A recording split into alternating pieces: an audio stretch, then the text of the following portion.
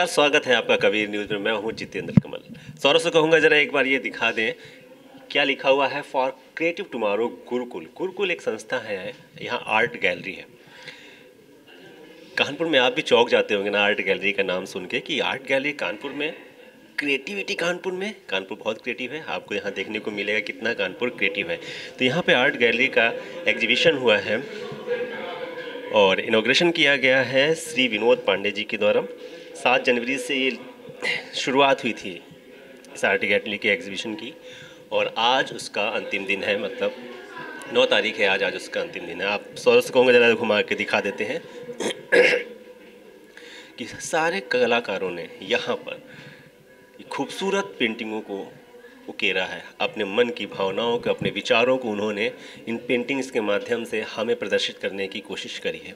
बहुत ही भाव विभोर और उत्कृष्ट पेंटिंग के नज़ारे हैं यहाँ पे। और अंदर प्रवेश करते हैं तो देखते हैं। लगभग चित्रकारी की जितनी विधाएँ हैं, जितनी तरीके हैं, उन तरीक़ों को यहाँ पर पेंटिंग्स कलाकारों ने अपने तरीके से उकेरा है। आप देख सकते हैं ये बीना जी की है और ऐसे बहुत से कलाकार हैं जिन्होंने अपनी पेंटिंग्स को यहाँ प्रदर्शित किया है। तो बहुत से लोग हैं यहाँ पे और काफ़ी लोग देखने के लिए भी लगातार यहाँ पे आ इस साइड सेक्शन पे आते हैं तो आप देखिए सारी पेंटिंग्स हैं यहाँ पे। ये आर्ट गैलरी का संचालन जो किया जाता है वो प्रोफेसर अभय द्विवेदी जी जी द्वारा किया जाता है और हर साल लगभग दो एग्जीबिशन तो यहाँ पे लगते ही लगते हैं। नई प्रतिभाओं को जो कानपुर की नई प्रतिभा है और जो उनको यहाँ पर अपनी कला का प्रदर्शन करने का एक माध्यम मिलता है। क्योंकि अक्सर बड़े शहर जैसे दिल्ली हो गए, मुंबई हो गए, ये पेंटिंग्स के लिए जाने जाते हैं, लेकिन कानपुर में भी इतनी अच्छे अच्छे कलाकारों की पेंटिंग्स यहाँ लगती है, आप देख सकते हैं। तो पहले तो कुछ कलाकारों से बात करते हैं। सर, ये ये किसकी पेंटिंग है? यहीं से शुरुआत करते हैं और देखिए, कुछ मैंने कहा ना कलाकार अपने मन के भावों को किस तरीके से प्रदर्शित करता है, शायद माफ़ी चाहता हूँ। अभी आर्टिस्ट ही नहीं है तो आपकी? हाँ चलिए, कुछ अलग आ गए उत्कर्ष की भी है, इनकी भी है, आपकी भी है। जी ठीक है, यहाँ से स्टार्ट करते हैं। आर्ट के गैलरी में मैं ये कुछ नया देखा था तो एकदम सॉफ्ट हो गया था। क्या है? थोड़ा सा बताने की कोशिश कीजिए कौन सा? ये एक स्कल्पचर मीडियम है। मोस्टली लोग स्कल्पचर मीडियम में एफर्ट नहीं डालते हैं क्योंकि थोड़ा सा टाइम टेकिंग और थोड़ा हैवी मटेरियल होता है तो उसको कट करना एंड ऑल बड़ा लंबा प्रोसेस होता है। सो so, अभी हम बेसिकली मैंने ब्लैक मार्बल में काम किया है। ये इसको yes this is black marble और ये स्टील को मेल्ट करके इसकी बर्ड्स बनी हुई हैं। ये जो बर्ड्स आप देख रहे हैं ये yes this made by steel तो ये सारी स्टील की हैं ये ब्लैक मार्बल है इनको असेंबल करके एक फैमिली रिप्रेजेंट करी है जैसे कि फैमिली में डिफरेंट टाइप्स ऑफ़ शेड्स होते हैं लोगों के नेचर के. एंड तो उनको साथ में किस तरीके से हम असेंबल करके यूज़ करते हैं तो वो मेरा स्कल्पचर प्रेजेंट कर रहा है. तो yes basically I am a sculptor so मैं पेंटिंग्स भी करता रहता हूँ तो Uh, नहीं मैं पेंटिंग भी करता हूँ but now I have decided to कि आज डिस्प्ले uh, मुझे स्कल्पचर करना है। माय नेम इज़ अभिनय प्रकाश सिंह अद्भुत है बहुत अच्छी है बहुत सुंदर है।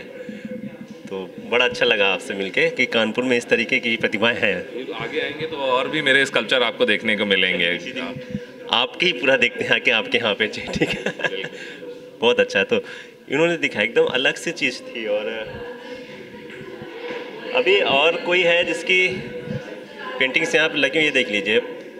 कुछ अपने तरीके से इन्होंने किया हुआ है। कि और देखते हैं चलिए। आपकी पेंटिंग है? कहाँ पे? ये। Good name my name is Gurjeet Singh ji. मैं सच बताऊँ तो मैं नहीं समझ पा रहा हूँ। आप प्लीज़ इसको एक्सप्लेन करें। क्या बनाने की कोशिश करी है? क्या दिखाने की कोशिश करी है आपने? ये पेंटिंग को मैंने टाइटल दिया है डिस्टर्ब हारमोनी अच्छा। इसका मतलब ये है कि जब डिस्टर्बेंस इसमें इसलिए जोड़ा क्योंकि ये जो पाँच लोग हैं एक ही फैमिली के हैं। अच्छा। हाँ। ये ये पाँच लोग एक ही फैमिली के हैं। और इनमें आपस में जब विचार किसी फैमिली में नहीं मिलते हैं तो उसमें डिस्टर्बेंस आने लगता है। तो इसमें वही है। सबसे सबसे विचार तो सबके हाँ। नहीं मिलेंगे तभी वो फैमिली होती है। हाँ। ठीक है। तो ये ये गुस्से में लग रहा है। मैंने इसको रेड कलर से दिखाया है। ठीक है। और ये मैंने ब्लू कलर से ब्लू कलर से दिखाया है जो सबसे कूल है। ये सबसे कूल है ये ये गुस्से में सबसे छोटा है लेकिन सबसे गुस्से में है। और ये मैंने येलो और ग्रीन मिक्स करके मैंने इसको बनाया है। ये जेलेसी क्रिएट करता है। ठीक है? अच्छा, अच्छा। और ये कुछ सोच रहा है। और इसके बाद ये जो कि लव में लव के बारे में कुछ सोच रहे हैं या कुछ हाँ। है तो है। हाँ। अच्छा जब आप ये चीज़ बनाते हैं सोचते हैं तो थॉट्स और कलर कैसे चूज़ करते हैं? सर एक्चुअली कल कुछ कलर और के इसके बाद आप थॉट्स के अकॉर्डिंग आप कलर को किस तरह से क्या पेंटिंग से बताया जाता है कि कलर्स का क्या क्या रोल होता है कौन सा कलर ये रिप्रेजेंट करता हाँ है? ऐसा होता है कि जो कलर जो रिप्रेजेंट करता होता है हम लोग वही कलर यूज़ करते हैं मोस्टली जैसे गुस्से का दिखाना था तो रेड कलर में। हाँ, एक गुस्से का सिंबल है रेड कलर तो उसी का साइन मैंने जब गुस्से में है तो मैंने इसको रेड कलर से दिखाया। और मेरे सारे जितने भी फेसेस बने हैं इन पे एक वाइट पट्टी लगी हुई है उनके माउथ के ऊपर। ये मुँह से कुछ भी एक्सप्लेन नहीं करेगा। अच्छा हाँ अच्छा इनका मुँह से कोई एक्सप्लेनेशन है ही नहीं। ये सिर्फ़ अपनी आँखों से अपने कलर से और अपने बॉडी पोस्चर से डिस्क्राइब करेंगे अपने आप को कि ये क्या कहना चाह रहे हैं। अच्छा तो आप जिस तरीके से बोल रहे हैं तो ज्वेलर्स का कलर ये ग्रीन और ब्लैक और हाँ। मिक्स करके बनता है? नहीं पेंटिंग ये एक्चुअली येलो और ब्लैक कलर मिक्स अच्छा है येलो और ब्लैक तो थोड़ा ग्रीन इसमें इफ़ेक्ट आ गया उसका ओके मतलब येलो कलर जो होता है वो ज्वेलर्स को फील वो करता है art करता है, और हाँ। ये? ये ब्लू कलर है। ये कूल कूलनेस दिखाता है। जैसे पानी आसमान अच्छा, अच्छा, बहुत कूल कलर है। ब्लू कलर कूल कलर में आता है। रेड कलर वार्म कलर में आता है। जिसमें लाल की मात्रा होती है वो हॉट कलर्स होते हैं वार्म कलर्स होते हैं। जिनमें ब्लू की थोड़ी मात्रा होती है वो कूल कलर्स होते हैं। इसका इस कलर को भूल गया। इसका मैं दिखाना चाहता था कि ये कुछ सोच रहा है। अब कुछ सोचने को हम कोई थिंकिंग को कोई कलर नहीं दे सकते। वो किसी भी कलर की हो सकती है। तो कुछ ना सोचते हुए मैंने इसको एक ऑरेंजिश पेंट कर दिया। बहुत अच्छा क्रिएटिव है। बहुत अच्छी थॉट है। बहुत अच्छा लगा। गुरजीत जी बहुत अच्छा लगा। इस तरह से आप लोग जो सोचते हैं उकेरते हैं ना अपने विचारों को अद्भुत रहता है। बिना कहे भी सब कुछ कह जाते हैं आप लोग। चलिए और भी जो कलाकार हैं उनसे हम यहाँ पे मिलते हैं। आपकी भी पेंटिंग है? जी सर। कौन सी है? मोहित जी हैं ये। मोहित जी ने कुछ इस बार हम लोगों को हिमालय जैसा कुछ दिखाने की कोशिश करी है। Yes sir. क्या दिखाने हमने इसमें गोल्डन माउंटेन इसका थीम है। हमने इसमें पूरा ब्लैक मतलब बहुत सारी पेंटिंग आपने देखी होंगी जैसे कि चम मतलब अलग अलग कलर में बनी है। हमने दो कलर में ही बनाई हाँ, है जैसे कि हमारे सर हैं ब्लैक मैन है ठीक है? एक छाप छोड़ देते हैं सर सर का मतलब कुछ भी कहना बहुत ज़्यादा हो जाता है। कम शब्द कम- हैं लेकिन हाँ। बहुत गहरी बात बोलते हैं जी जी। बात बोलते हैं। हाँ तो वही है कि दो कलर लगा के हमने पेंटिंग को ख़त्म करा पूरा। दिखाना क्या है आपने? पहाड़ दिखा दिए सृष्टि को दिखाने की कोशिश करी है क्या? नहीं नहीं हमने सिर्फ़ सृष्टि को दिखाने की कोशिश हमने माउंटेन दिखाने की कोशिश की है। हाँ। और को हाँ है और पूरा चमक आपने यहाँ पे दिखाया। हाँ ये पूरा हमने बैकग्राउंड दिया है ब्लैक और केवल माउंटेन पे फोकस ज़्यादा किया हमने। जैसे लोग ब्रश से बनाते हैं हमने इसको नाइफ से बनाई है नाइफ से ही ये कलर जो भी मिक्सिंग की है नाइफ से ही की। पूरा है आपका नाइफ से ही है। अच्छा जी जी। इसको कहेंगे क्या? नाइफ पेंटिंग करते हैं हाँ। बहुत सुंदर है। थैंक यू और और भी कोई आपकी पेंटिंग है आपकी पेंटिंग है? मैम कौन सी पेंटिंग है आपकी? ये एब्स्ट्रैक्ट है ये सॉरी गुड नेम मैम लोग एब्स्ट्रैक्ट में कम दिलचस्पी लेते हैं। नहीं नहीं मैं मैं पूछने जा रहा था जैसे हम लोग आए भी थे तो ये भी पूछ रहे थे कि बना क्या है?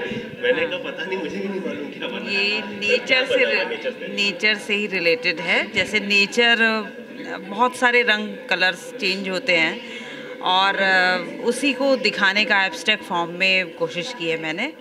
अलग अलग मतलब एब्स्ट्रैक्ट फॉर्म के ही टेक्सचर देते हुए अलग विधा में इसको। नेचर के कलर्स को दिखाने हाँ नेचर्स के। कलर को ही एब्स्ट्रैक्ट फॉर्म में दिखाने की कोशिश की है। इमेजिनेशन कैसे आया? कैसे आता है थोड़ा सा सर से भी प्रोत्साहन मिलता ही है। और फिर अपना भी क्रिएशन है इसलिए। और ये दूसरी पेंटिंग है।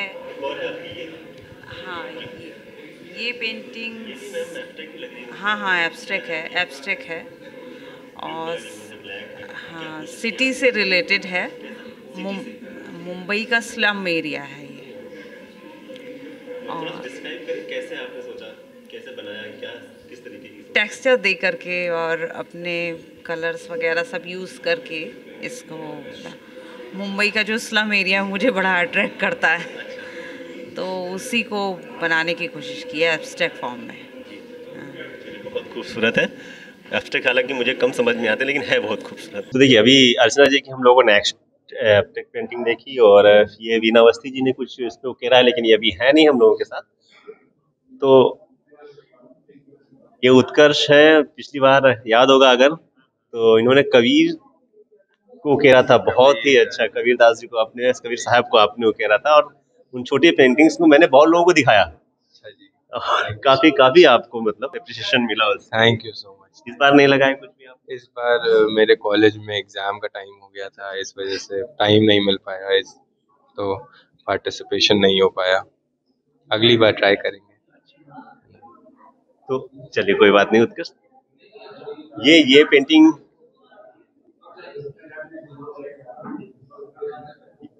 देखिए इन्होंने भी कुछ आ, आपकी ना? चलिए क्या बनाने की कोशिश की आज आप? ये मैंने मेरा टॉपिक इल्यूजन है। टॉपिक इल्यूजन है। टॉपिक इल्यूजन मैंने बनाया जी। दर्शाने की कोशिश करी है हाँ जी, हाँ जी, जी। मैंने अपनी पेंटिंग में ये मोह जाल दिखाया है। जैसे हाँ उसकी मोह जाल की वजह से। ये दो लोगों में जो डिफरेंस हो जाता है ना, जैसे हम कोई चीज़ अच्छी लग रही है, उसकी तरफ़ देख के आकर्षित हो जाते हैं। देन जब हम उसके साथ रहते हैं तो हमें पता चलता है चीज़ें क्या है। तब हमें हाँ वो समझ में आती है। तो मैंने इस पेंटिंग की वैसी ठीक दो सीरीज़ बनाई है। जी हाँ तो इधर नेगेटिविटी और पॉजिटिविटी को मैंने दिखाया है। जैसे हाँ जी हाँ जी। और उसमें कलर भी मैंने बहुत डल दिखाया है। अब साथ कलर है वो ब्लू और ये जैसे रेड इसका विरोधी कलर ग्रीन है तो और इसका जब ये ब्राइट की तरफ़ हो रहा है तो इसका कलर येलो हो रहा है और ब्राइटनेस की तरफ़ बढ़ है पॉजिटिविटी की ओर बढ़ रहा है। तो इसी की तरह मैंने इसमें फ्लावर बनाए हुए हैं और इसको पुष्प के जो पराग कण होते हैं ना, उससे निकलता दिखाया और उसके हृदय में कांटे दिखाए।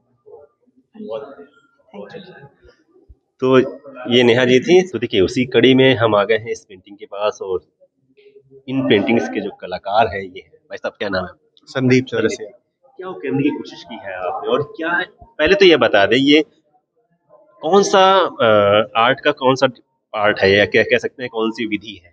यहाँ पे जो टेक्निक है वो हमने गोंड आर्ट ली है। गोंड आर्ट गोंड हाँ Gond.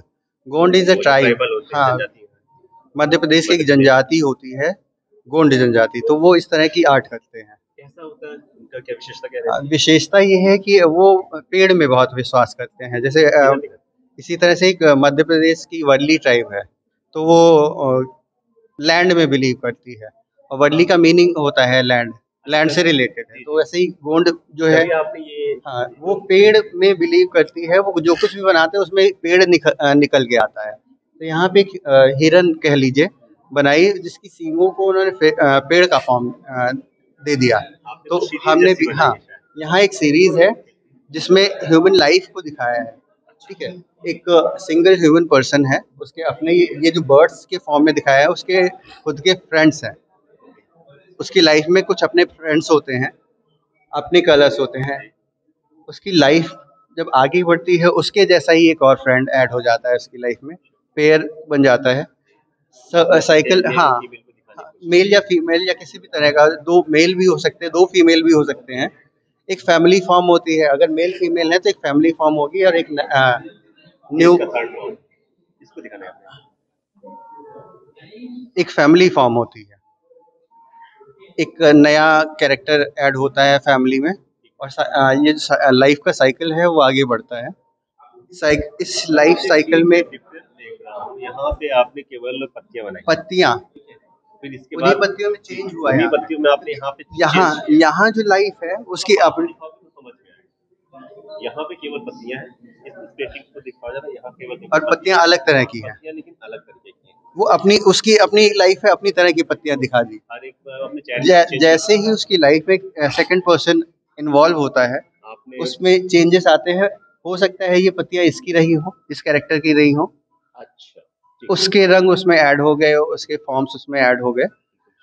ठीक है फिर चेंज आता है। ती, तीसरा कैरेक्टर ऐड होता है उसकी लाइफ में। तो वो फिर से चेंज होता है लाइफ में पत्तियों में चेंज आ गया। अच्छा जो आपने ब्रांचेस बनाई है हाँ। कुछ इनका भी रोल है क्या आपकी इसमें? कि ये पहले सिंगल था तो ब्रांचेस इस तरह की नहीं ब्रांचेस बेस वही है। सब में वही है पत्तियों में चेंज आ रहा है। यहाँ पे जो डिवीज़न होता है फैमिली में, या एक बच्चा फैमिली से अलग होता है, उसके अपने कलर्स आ जाते हैं, अपनी तरह की पत्तियाँ हैं। ठीक है, अपनी लाइफ का एक अपना स्टाइल है जीने का। ये दोनों अपने उसी बेस के साथ रूट के साथ जुड़े हुए हैं, उसमें चेंजेस क्योंकि हैं, अपनी थॉट प्रोसेस है, वो अलग होता है अपनी फैमिली से, किसी किसी भी। आप इसी में माहिर हैं। हाँ, नहीं ऐसा कुछ नहीं है। हम हम सबकी लाइफ में कुछ घटता रहता है।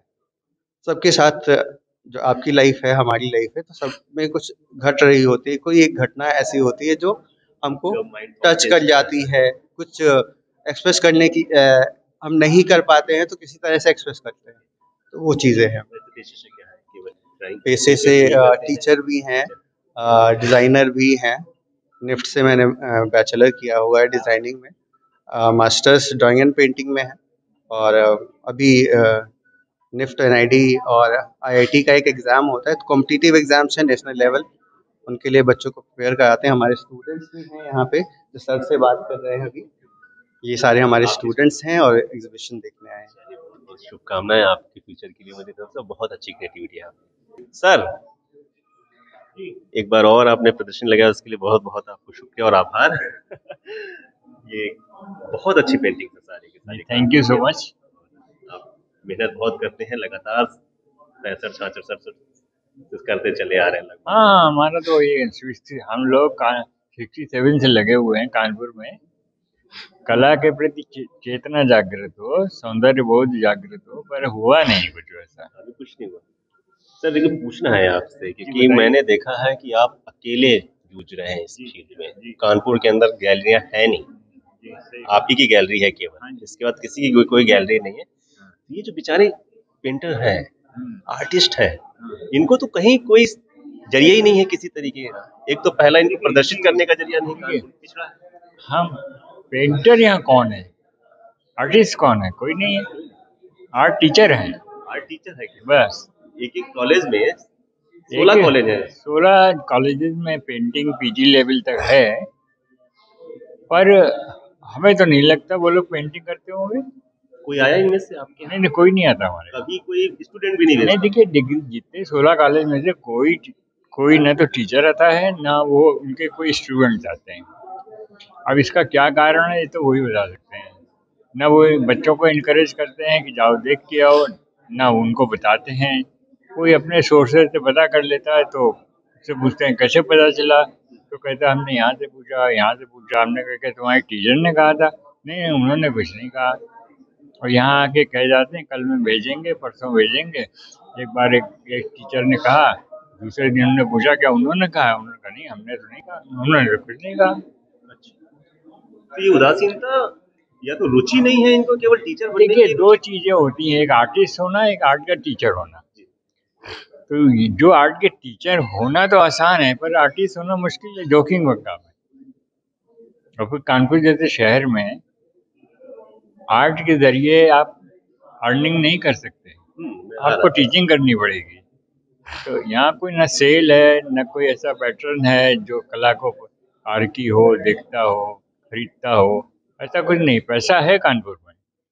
पर अब क्या बताया जाए उसे बहुत क्या इंटरेस्ट नहीं है। इंटरेस्ट भी नहीं है और इनको खरीदने की कुछ भी देखिए ऐसा है यहाँ पर बड़ी बड़ी बातें होती हैं। ये कमेटी बन रही वो कमेटी बन रही है ये बनेगा वो बनेगा कुछ तो बनता नहीं है। और जो लोग कमेटी के सर्वे सर्वा हैं वो कभी तो गैलरी में दिखते नहीं है कि वो खुद पहले देखें आके तब हम जनता देखें। अच्छा हम जनता को साधारण लोगों को क्यों दोष दें? जो कला से जुड़े लोग हैं जब वही नहीं आते हैं तो हम जनता से क्यों क्यों करें? अरे, इतने सालों से कर रहे हैं। भाई, किसी भी एग्जीबिशन में तो दिखाई दें, कहीं नहीं आते। कि ये उदासीनता क्या किया जब आर्टिस्ट खुद उदासीन है आर्ट टीचर उदासीन है तो फिर समाज के लोग तो उदासीन होना स्वाभाविक है। उनको क्या मतलब आर्ट वार्ट अच्छा जो वर्तमान में सरकार चल रही बीजेपी की सरकार है चीख चीख के बोलते हैं हम आर्ट एंड कल्चर को बढ़ावा देंगे। हाँ। और वहाँ की लोकल संस्कृति को बढ़ावा देंगे। हम्म। कलाकारों को बढ़ावा देंगे जैसे पद्म श्री हो जाए और पद्म भूषण में लोग इंक्लूड कर रहे हैं। तो यहाँ पे जबकि बिल्कुल बीच में बैठे सिटी में है आप बहुत दूर नहीं है कि हाँ। देहात साइड पे हो या कहीं इसके बाद भी ये लोग कभी भी इंटरेस्ट नहीं लेते नेता नहीं लेते या इनको पता नहीं होता है कि इस संस्कृति को बढ़ाना चाहिए। हाँ ये असल में हमारे जो राज्य में कला नीति कोई है ही नहीं। ये ललित कला एकेडमी जो सब नहीं ललित कला एकेडमी तो एक एक एक पॉलिटिकल समझ लीजिए कुछ लिमिटेड लोगों का एक केंद्र है जो आपस में मिलते जुलते रहते हैं वो सब करते रहते हैं। वो उसको हम पूरे स्टेट का जिम्मेदार नहीं मानते। वो उनकी एक्टिविटी सिर्फ़ लखनऊ तक सीमित है ज़्यादा से ज़्यादा बनारस तक सीमित है। बस। इससे ज़्यादा वो आर्टिस्ट कहाँ दूर गाँव में रहता क्या कर रहा है उनको उससे कभी सर्वे नहीं हुआ कभी देखा नहीं गया नहीं गया। महाराष्ट्र में क्या है? महाराष्ट्र में पूरा डायरेक्टरेट है। डायरेक्टरेट ऑफ़ आर्ट जैसे हमारे यहाँ डायरेक्टर ऑफ़ इंडस्ट्री है वैसे वहाँ डायरेक्टरेट ऑफ़ आर्ट है। और वो वो सारे कला को सारे कला की गतिविधियों को तो मॉनिटर करते हैं वो लोग। यहाँ ऐसा कुछ नहीं। नहीं यहाँ यहाँ कोई ऐसी नीति ही नहीं कि कला कितने स्कूल में कला को खत्म कर दिया गया? सही बात। कला पढ़ाई नहीं जाती अब। ऐसे तो फिर आर्टिस्ट ही खत्म हो जाएँगे फिर कानपुर के अंदर में। जिनको रुचि है वो यहाँ है। नहीं जो कानपुर देखिए उत्तर भारत में कला का कोई स्कोप है नहीं। और ये बड़ा जोखिम का काम है। कोई कलाकार बनना नहीं चाहता। आपको कलाकार बनना है कला से अर्निंग करनी है तो दिल्ली बम्बई जाइए। यहाँ कुछ स्कोप नहीं यहाँ नहीं बिकता कोई।